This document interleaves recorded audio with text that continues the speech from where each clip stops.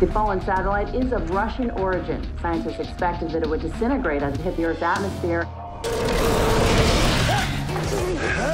It wasn't just killed from electricity. Some insects plant their eggs in a foreign host. We removed these from his abdomen. Whatever bit him, still down there. Look at this!